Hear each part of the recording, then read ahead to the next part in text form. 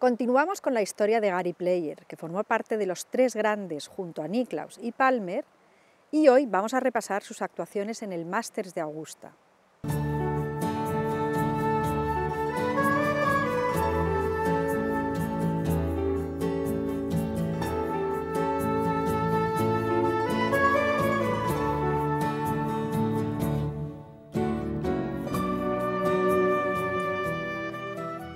Gary Player siempre ha mantenido una relación muy especial con el Masters de Augusta, un torneo que ha ganado en tres ocasiones.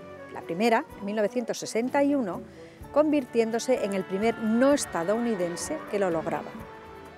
La segunda, en 1974, siendo uno de los pocos jugadores que ha ganado dos grandes en el mismo año, Open Británico y Masters de Augusta.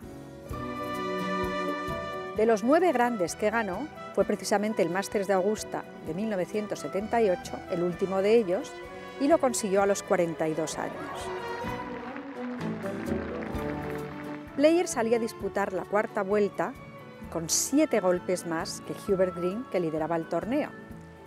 Puso la máquina en marcha, empezó a hacer verdis, firmó siete en los diez últimos hoyos y una vuelta de 64 para ponerse su tercera chaqueta verde.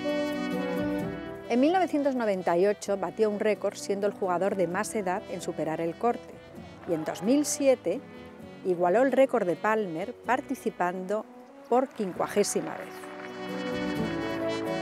Lo jugó por última vez en 2009 cumpliendo 52 ediciones consecutivas. El año que viene, si Dios quiere y la salud se lo permite, en abril volveremos a ver a los tres grandes, Gary Player, Jack Nicklaus y Arnold Palmer, dando el saque de honor.